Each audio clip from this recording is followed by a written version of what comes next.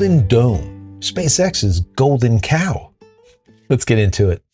Hey everybody, welcome back to the channel. Thank you so much once again joining me for Tea Time Without Tea. We actually just have some water here. We're in the room, we're on the ship. We just came back from Greece. Matter of fact, during this video, I'll show you some footage from Greece. It was absolutely gorgeous. The food was fantastic. I actually like the food better in Greece than I did in Rome. Shh, don't tell them. It was really exceptional. We were in Athens, and of course, we went to go see the Acropolis and the Parthenon, and it was just absolutely beautiful. I'm kind of burnt. but it was a lot of fun, a lot of fun. So today we're going to be talking about this Golden Dome thing. Now we know Israel has already had the Iron Dome for a long period of time. And I've always said that was kind of like the beta for our Golden Dome. Okay, we've given um, Israel a lot of money, hand over fist, a ton of money. They did a lot of the work, but we gave them a lot of the finances when it comes to the Iron Dome, and we were part of it. So now we kind of get an understanding of it, and we're going to make our own according to what Donald Trump says, at least.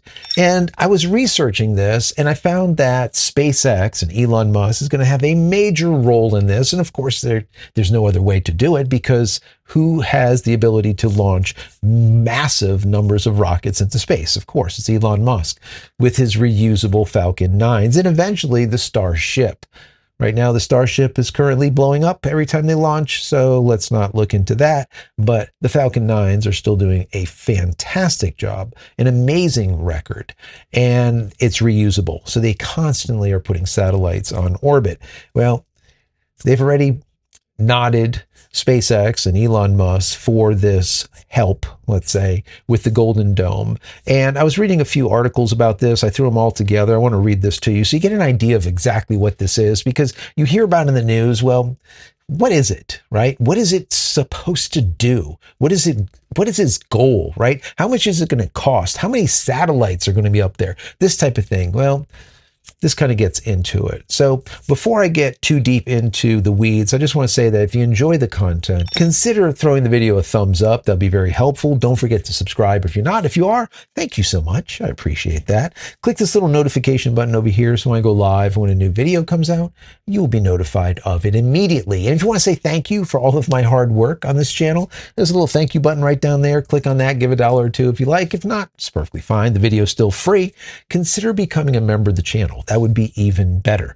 And if you want more SpaceX Starlink specific videos, I've put together over 500 just for you.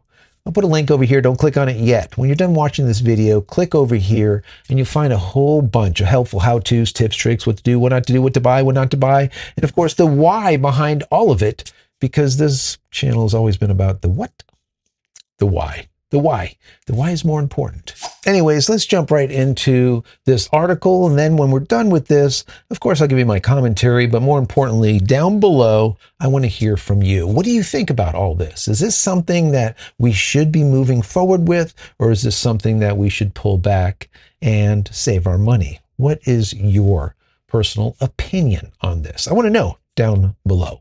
So it starts out by saying Golden Dome the space shield the world might not be ready for. The United States is laying out the groundwork for the most ambitious missile defense system in history, and it's not on land or sea. It's in orbit, stopping missiles before they fly.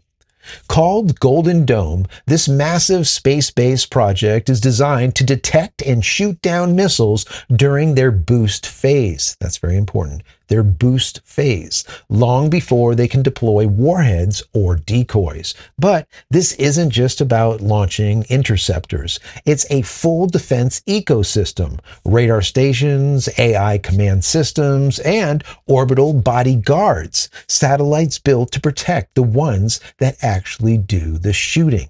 Bodyguards. Very cool stuff. Layer one, eyes in the sky. Missile launches are detected first by ground based radar systems like the Long Range Discrimination Radar in Alaska. That data feeds into a space based sensor network of 400 to 1,000 satellites. These sensors track flight paths in real time and hand target data to interceptor satellites positioned in low Earth orbit. The interceptor phase hit before it hits.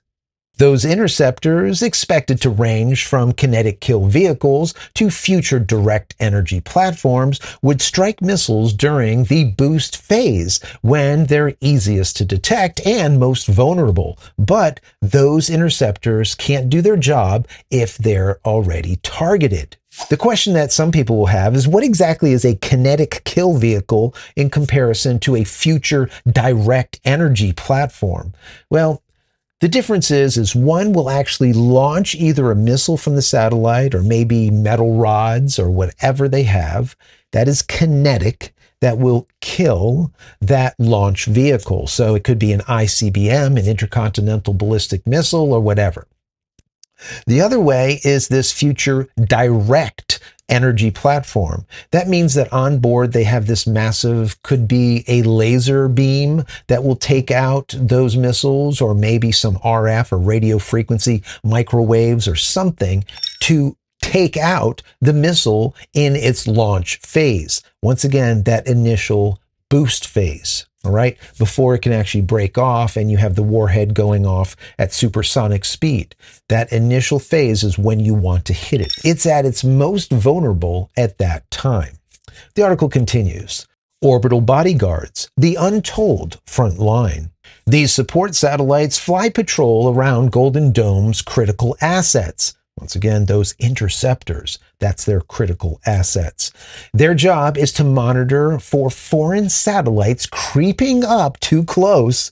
China and Russia already operate quote, space stalkers capable of disabling or hijacking systems in orbit. These are specific Chinese satellites that have been put up there to kind of pull up alongside of other satellites. And as they state here, either to disable or to hijack the systems on the satellites, or maybe give them a nudge back into the atmosphere and cause them to burn up anything is possible. The bodyguards could blind, block, or nudge those threats away, giving Golden Dome more room to function in a contested environment. So once again, those bodyguards secure the area around those interceptor satellites, which is so, so important so they can do their job. A constellation of thousands.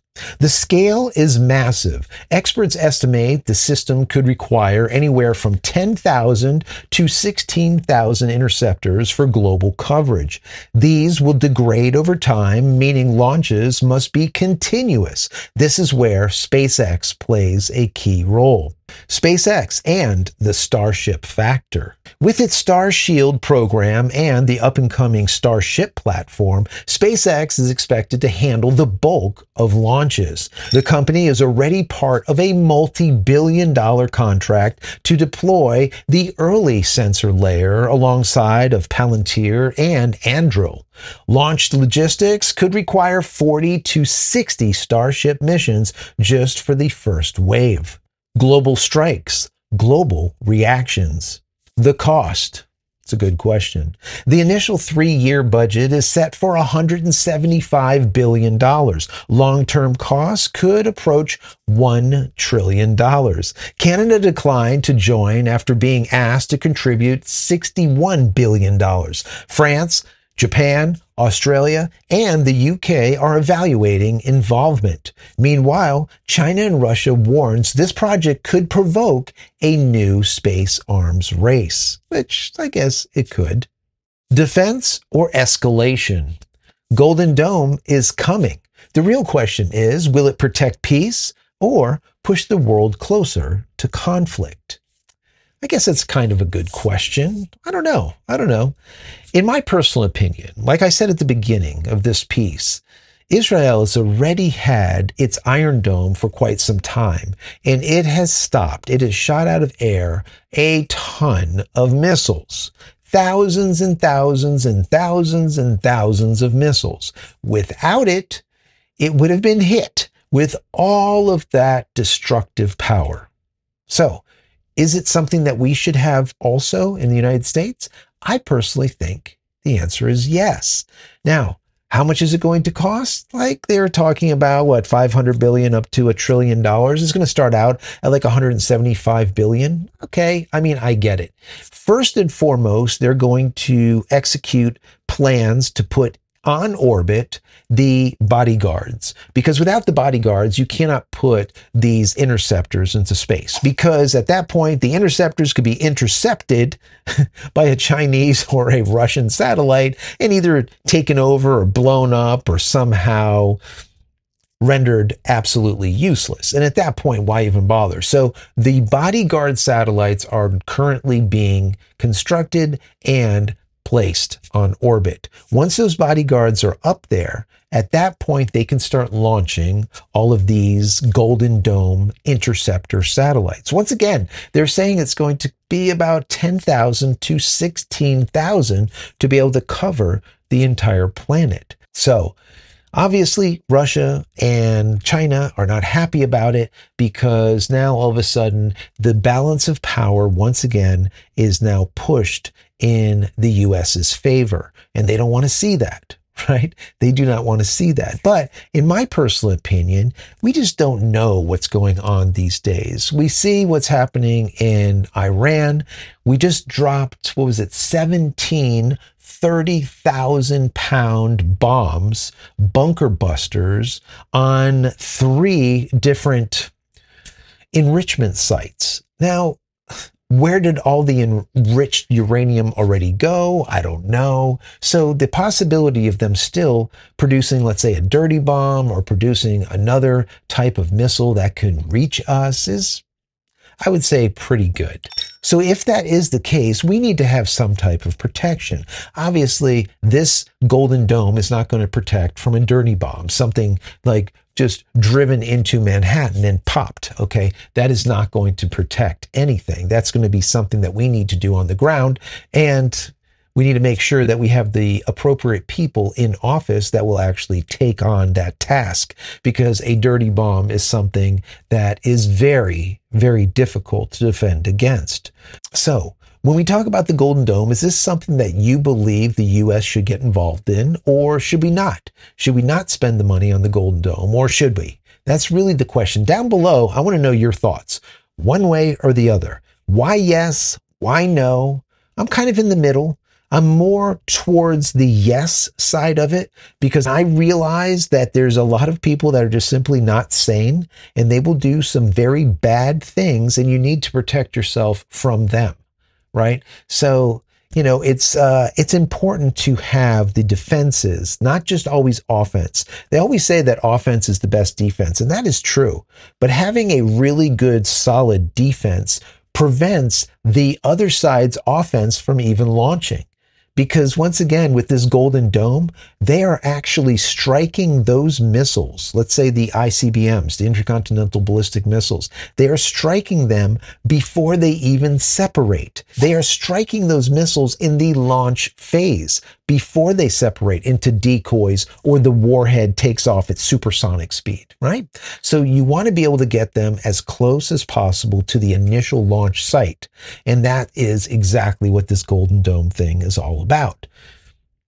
Once again, kinetic, or is it possibly some type of future laser or maybe microwaves? However, they do it, I really don't know. But one way or another, they need to be able to once again destroy those missiles in air before they separate. And that is exactly what Golden Dome is about. So, once again, what say you down below? I think you know what I think about this. I want to know what you think. If you enjoy the content, like I always say, throw the video a thumbs up. That'll be very helpful. And don't forget to head over to my website, jcristina.com forward slash shop take a look at my merch. If there's something there that you like, please pick it up. Help support me and my family. Many blessings to you and your family. Stay safe, stay healthy, stay connected, maybe with SpaceX Starlink. And we'll see you in the next one. Love you guys.